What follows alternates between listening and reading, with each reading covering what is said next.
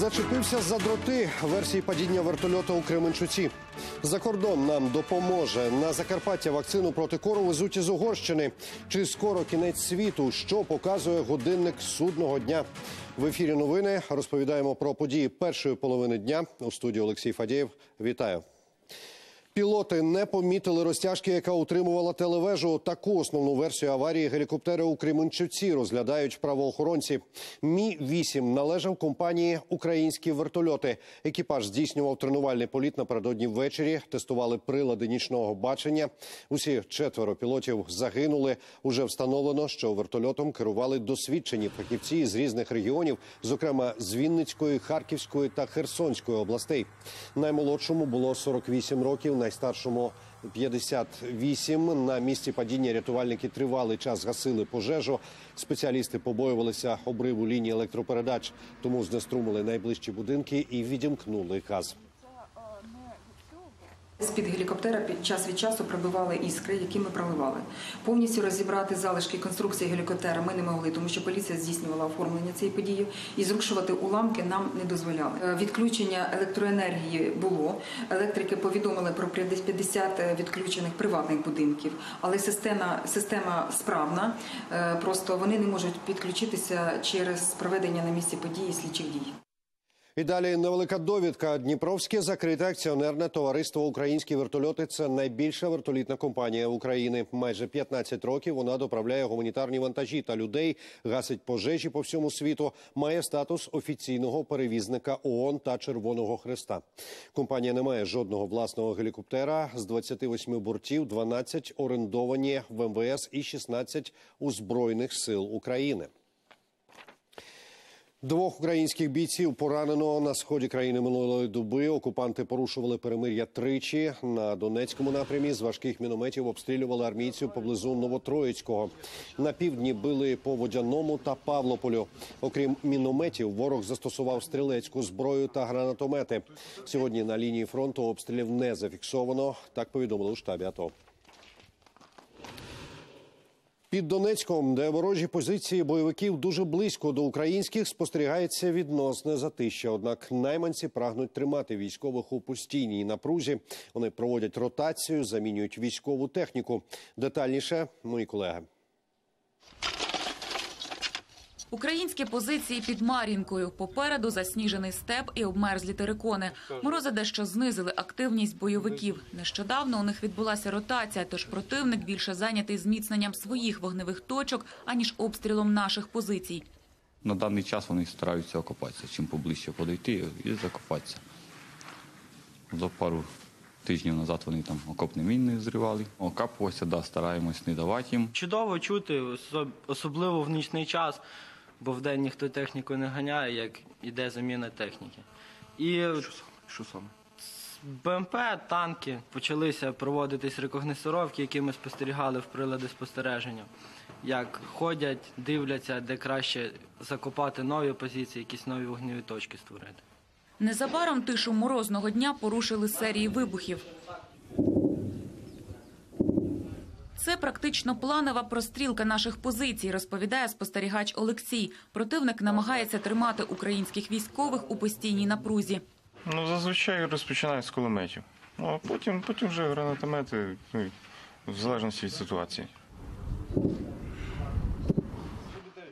До гранатометів не дійшло. Незабаром ворожий обстріл припинився. Користуючись затишем, українські бійці взялися зміцнювати позиції. Війна на Донбасі це ще і постійна тяжка робота за будь-якої погоди. Анастасія Старовойт, Руслан Сміщук, Сергій Дубінін. Новини телеканал Інтер. Десять років позбавлення волі. Такий вирок отримав Віктор Агієв, е, російський військовослужбовець, якого торік у травні затримали на Донбасі. Своє рішення Новоайдарський суд оголосив напередодні пізно ввечері. Агієва звинуватили у причетності до терористичної організації. У складі диверсійної групи він проник на підконтрольну Україні частину Луганської області. Ну а згодом визнав, що його відрядили на схід України після підписання контракту із російськими збройними силами. Президент Петро Порошенко виступить сьогодні на всесвітньому економічному форумі в Давосі. Його промова запланована під час сесії на тему Центральна і Східна Європа. Новий порядок денний для континенту. Також очікують на зустріч нашого президента із Дональдом Трампом. Вочевидь, розмова торкнеться нещодавно ухваленого закону про деокупацію Донбасу і введення в регіон миротворців ООН. Американський лідер прибув до швейцарського містечка напередодні. Президент США на форумі. Це радше виняток із правил. Востаннє зібрання відвідував Білл Клінтон. Це було майже 20 років тому. Тож на спеціальне звернення Трампа до учасників зустрічі чекають із нетерпінням. Ну а напередодні Трамп мав розмову із прем'єром Ізраїлю Біняміном Нетаньягу. Політики говорили е, про стратегію протидії Ірану і перспективи досягнення миру між Ізраїлем та Палестиною. Тим часом антитрампівські демонстрації у Швейцарії не припиняються на одному з гірських схилів на півдорозі між Цюрихом та Давосом. Активісти повісили велетенські банери з написом Трампові не раді. Хочуть, щоб американський президент знав його дії згубні для світу. Активісти сподіваються, що він побачив їхні послання, пролітаючи на вертольоті. Виступає проти лідера США і організація Greenpeace. Захисники природи спрямували на гору в Давосі лазерний напис «Спра- справедливість для людей та планети. Мовляв, Трамп це втілення несправедливості. У Румунії затримали колишнього генерального директора Укрспирту Михайла Лабутина. Про це повідомив генеральний прокурор Юрій Луценко. За його словами, Лабутина підозрюють у розтраті 260 мільйонів гривень, а також в організації злочинного угруповання, яке на замовлення вбивало людей у Києві. Зараз ГПУ готує документи на екстрадицію затриманого. Кір дістався Кіровоградської області. Захворіли 15 людей. На Дніпропетровщині вірус підхопили вже понад сотня.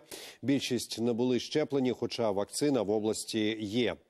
А ось в Одесі вона скінчилася. Три тисячі доз, виділених додатково, лікарі вже використали. А Закарпаття взагалі досі не отримало жодної. Який вихід знайшли там? Дивіться далі. У Габріели Нікітчук дві доньки. Мама впевнена, вакцинувати дітей треба обов'язково. Тому старшій дівчинці робила всі щеплення. Хотіла і молодшій, але вакцини не вистачило. Я була привита, мій чоловік привитий. Ну, ми дитину також її дітей якби прививаємо. Почуваєшся якось захищенішою, е, коли вони є. Е, Ми старшу дитину теж прививали, молодшу теж хоч хотіли би, але е, наразі немає вакцини у поліклініці. У центрі первинної медико-санітарної допомоги в Ужгороді лікар показує запаси у холодильнику. Є непопулярна індійська вакцина від дифтерії і правця, є від гепатиту А і Б. А ось вакцини проти кору немає. КПК закінчилася буквально на е, минулому тижні. Від кору, паротиту і краснухи. Вакцини проти кору немає не лише в Ужгороді, а й по всій області. Повідомляє головний інфекціоніст Закарпаття. При цьому в регіоні від початку року вірус підхопили майже 400 людей. Більшість діти, у яких немає щеплення. Якщо ми говоримо за, мину- минулий рік, то нам було поставлено всього-навсього 29,3 е, від потрібної кількості у відсотках е, щеплювального матеріалу. Ми декілька разів зверталися у Міністерство охорони здоров'я через департамент. Я думаю, що вони нас все-таки почують. Але у міністерстві поки що не почули, кажуть в обладміністрації. Вакцина з Києва так і не надійшла. Тому губернатор вирішив звернутися до сусідніх держав. Відгукнулася Угорщина, і найближчим часом область отримає 25 тисяч доз. Перша партія 8 тисяч прибуває вже сьогодні. Вакцини доставлять як гуманітарну допомогу. І ті 10 тисяч, які обіцяні Міністерством охорони здоров'я на Закарпаття, поки що не дійшли. В своєму зверненні до Генерального консульства ми надали перелік вакцин, які сертифіковані в Україні. Тому угорці знають, що вакцину, яка не сертифікована, немає смислу вести, тому що ми її не можемо використати для щеплень дітей і дорослих. З питанням, чому в Закарпаття досі не надійшла вакцина, ми звернулися до Міністерства охорони здоров'я. Написали офіційний запит, але відповіді не отримали. Катерина Сривкова, Марина Коваль, Юрій Ковальов. Новини телеканал Інтер. Закарпатська область. У Черкасах через проблеми із бюджетом без сніданків та обідів можуть залишитися 12 тисяч дошкільнят. Від початку року компанія-постачальник завозить продукти дитсадочкам у борг. Місто досі не переказало жодної копійки. Тож підрядник офіційно повідомив, що з наступного тижня малеча залишиться без харчування. Після прогулянки на морозі на обід кухарі дитячого садочка чаклували від самого ранку, приготували малечі смачне меню. Група Валентини Олексіївни обідає першою. Суп гороховий, рибна как- котлетка у нас і пюре картопляне, е, компот із е, свіжих яблук і хліб. Наші дітки це все люблять. Вони дуже смачно це готують наші повара. У меню черкаських дитсадків жодних напівфабрикатів. Продукти для малечі постачальник розвозить мало не день у день. Овочі, м'ясо, рибу, фрукти та молочку постачають із цього складу приватної фірми. Торік у травні вона виграла тендер на забезпечення продуктами дитсадків. У кожного закладу заявки індивідуальні. Та схоже, з наступного тижня склад спорожніє, каже директор. Термін договору за тендером збіг наприкінці грудня. Департамент освіти мав підписати додаткову угоду, але цього так і не сталося. Уже майже місяць підприємство відпускає харчі для майже 12 тисяч дошкільнят у борг. Місто вже завинило фірмі понад 3 мільйони гривень. 60% батьки платять, 40% бюджетних коштів. Я поки не закінчила обслуження, обслужую їх. Уже і молоко все поставляю, але понеділок, вівторок це остання границя. Я більше не можу давати вже. Я ж поставщикам 2 мільйони вже должна. У департаменті освіти пояснюють, усе через проблеми з бюджетом. Місто і досі живе без головного кошторису. Чиновники запевняють, гроші, щоб розрахуватися з підрядником, у них з'явились. А от додаткову угоду з фірмою має зареєструвати казначейство. Перемови про це тривають уже тиждень. Ми заручники ситуації, яка, яка трапилася. Наші юристи, наші фінансисти говорять про те, що ми, ми, ми маємо право е, і подавати ті документи, які ми власне подали. Головний казначей міста не проти зареєструвати угоду і заплатити постачальнику, але каже, папери отримали тільки вчора. Департамент освіти і гуманітарної політики подав офіційно нам документи з своїм супровідним листом на е, розгляд і на реєстрацію вчора. У нас є термін для розгляду е, цих документів. У те, що додаткову угоду зареєструють, освітяни не вірять і вже відкрито називають ситуацію саботажем. Тим часом постачальник не дає гарантій, що з понеділка зможе завозити у дитячі садки продукти. Даніл Сністер, Станіслав Кухарчук, Павло Тимошенко. Новини телеканал Інтер Черкаси. У Львові, схоже, розгортається новий скандал. Усі автобуси автотранспортного підприємства номер 1 мають бути заарештовані через борги. За інформацією чиновників, поки що вилучено сім машин. Але звідкіля взявся борг і як міська влада збирається вирішувати проблему? Дивіться про це далі. Штрафмайданчик на околиці міста. Тут непорушно завмер один з автобусів АТП номер 1 вилучений правоохоронцями. Днями в поліцію надійшла інформація. Всі автобуси комунального підприємства у розшуку за борги АТП і підлягають арешту. Зупиняє такий транспортний засіб, е, е, повідомляє водію, що його транспортний засіб знаходиться у розшуку. Обов'язково, щоб він звернувся до свого керівництва, повідомив це все е, дані факти. Е, Також він пише рапорт і доповідає е, з такий такий екіпаж. Зупинили автобус, який знаходиться у розшуку. Усі вилучені автобуси мають опечатати працівники виконавчої служби, а потім продати через спеціальну електронну систему. Виручені гроші підуть на погашення боргу. Є судове рішення, воно має бути виконано. Є борг, він підтверджений, затверджений судом, значить він має бути сплачений.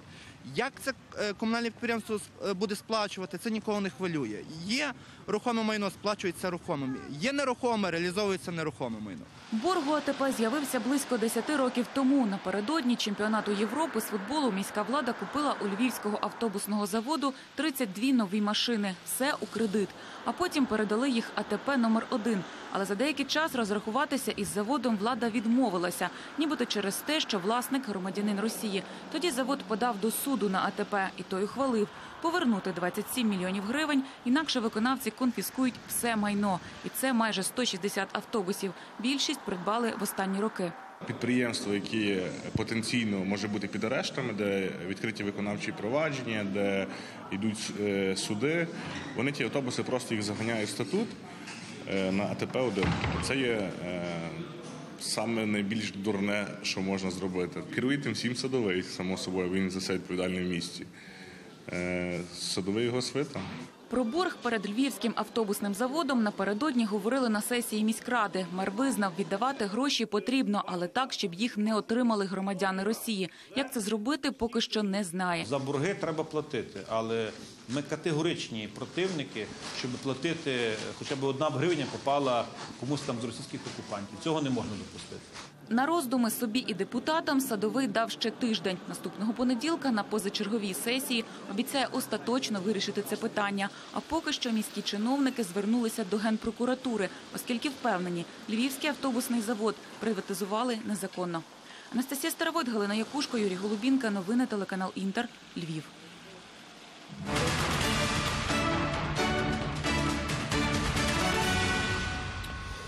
Вчені перевели так званий годинник судного дня на 30 секунд уперед. Таким чином, до півночі, яка означатиме глобальну ядерну катастрофу, залишаються усього дві хвилини. Про це йдеться в американському журналі Bulletin of the Atomic Scientists. На думку науковців, судний день наблизили північно-корейські ядерні випробування, інвестиції у ядерну зброю, кліматичні зміни, а також непередбачуваність американського президента Дональда Трампа. Метафоричний годинник це видання запровадило ще 1947 року, і тоді, на думку вчених, людству залишалося існувати 7 хвилин. Ну а настільки близько або навіть ближче до півночі, ніж тепер, стрілки опинилися під час холодної війни 53-го року. Трагедія у південній Кореї. 39 загиблих у масштабній пожежі, що сталося в одній з лікарень міста Мірян на південному сході країни. Десятки людей травмовані. Полум'я спалахнуло у відділенні невідкладної допомоги, з яких причин поки що невідомо. І на час займання в лікарні перебували близько 200 пацієнтів.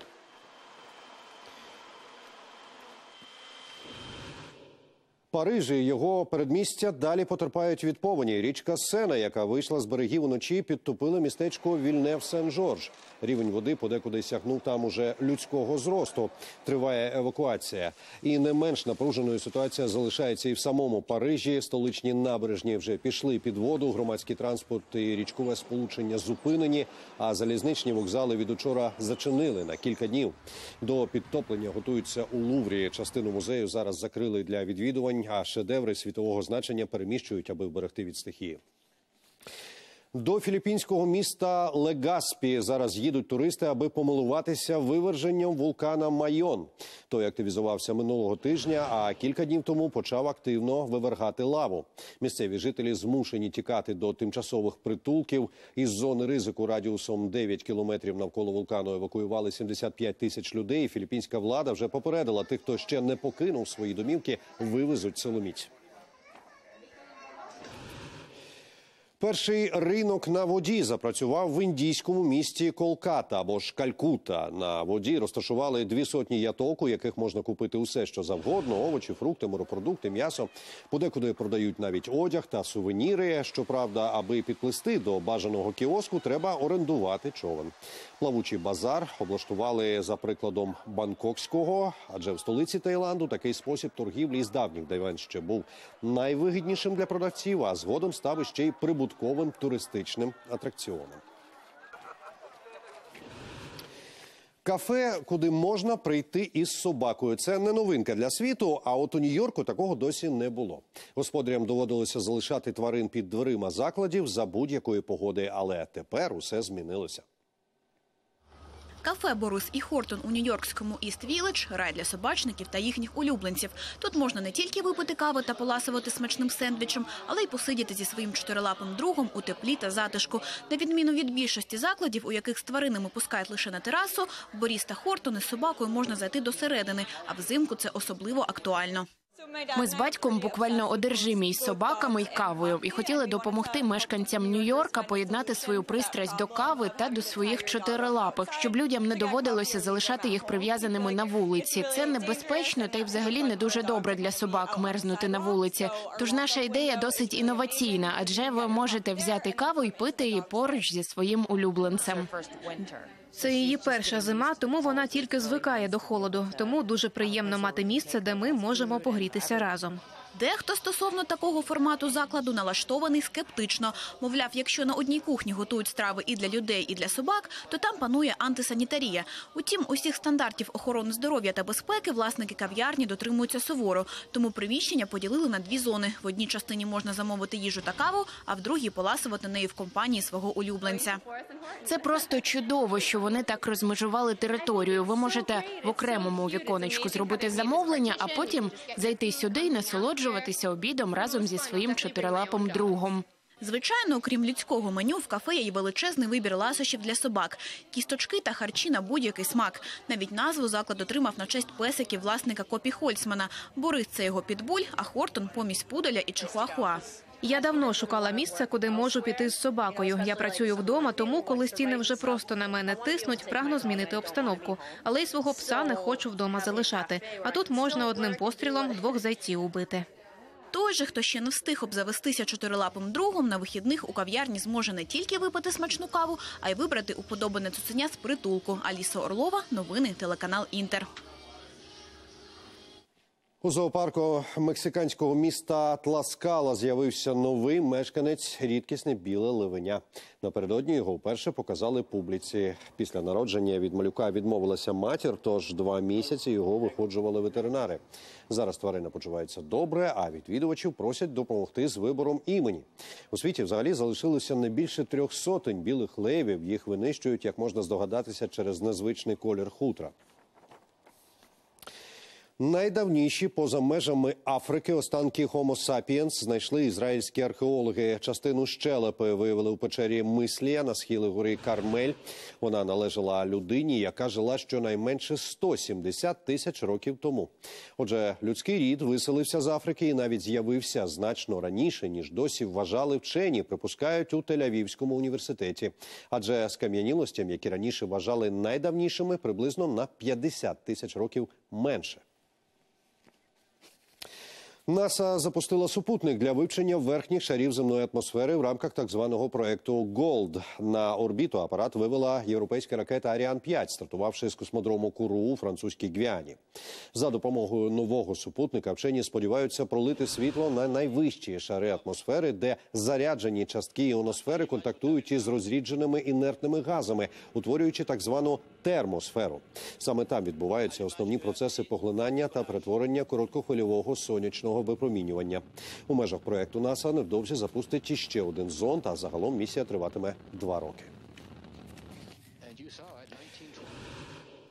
І це всі повідомлення випуску. Наступного разу ми з вами побачимося о 17 годині 40 хвилин і поговоримо про події дня в цілому. На все добре.